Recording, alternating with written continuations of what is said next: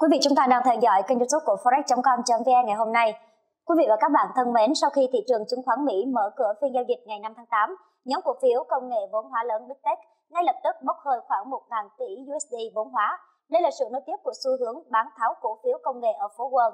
Nguyên nhân khiến chỉ số Nasdaq rơi vào trạng thái thị trường điều chỉnh từ cuối tuần trước đó.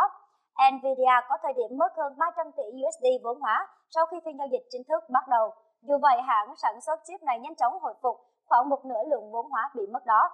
Lúc đóng cửa, cổ phiếu Nvidia giảm 6,4%, tương đương giảm vốn hóa 168 tỷ USD. Vốn hóa Apple và Amazon giảm tương ứng 224 tỷ USD. Vốn hóa Apple và Amazon giảm tương ứng 224 tỷ USD và 109 tỷ USD khi thị trường mới mở cửa. Khi đóng cửa, cổ phiếu nhà sản xuất iPhone giảm 4,8%, tương đương mất 162 tỷ USD vốn hóa. Amazon chốt phiên giảm 4,1%, tương đương mất 72 tỷ USD vốn hóa. Cộng thêm cú giảm sốc của loạt cổ phiếu Meta, Microsoft, Alphabet và Tesla, tổng vốn hóa của nhóm 7 công ty công nghệ vốn hóa lớn nhất ở Mỹ, thường gọi là nhóm Magnificent 7, giảm 995 tỷ USD chỉ sau vài phút giao dịch. Một phần vốn hóa mất này đã được hồi phục trong quá trình của phiên giao dịch. Chứng khoán toàn cầu bán tháo trong phiên ngày 5 tháng 8 với chỉ số Nikkei 225 của thị trường Nhật bán giảm hơn 12% và chỉ số Dow Jones của chứng khoán Mỹ mất hơn 1.000 điểm. Trong lĩnh vực cổ phiếu công nghệ, nhà đầu tư đã bất an trong mấy tuần trở lại đây. Một nguyên nhân khiến cổ phiếu công nghệ bị bán tháo là báo cáo kết quả kinh doanh quý 2 gây thất vọng của Amazon. Alphabet và Microsoft, tâm lý của nhà đầu tư đã có những thay đổi mạnh mẽ so với mấy tháng trước.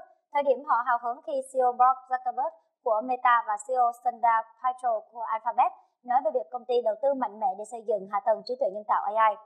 Từ chỗ hào hứng, Nhà đầu tư giờ đây đã cảm thấy lo ngại rằng Big Tech đang đầu tư quá mức vào AI.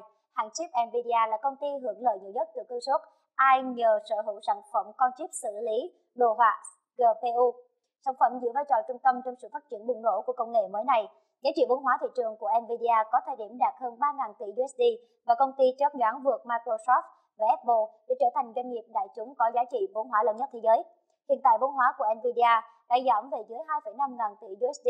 Một báo cáo của ngân hàng Goldman Sachs hồi tháng 6 cảnh báo rằng các công ty công nghệ chi tiêu nhiều nhất không báo cáo đầy đủ về số tiền mà họ đầu tư cho AI.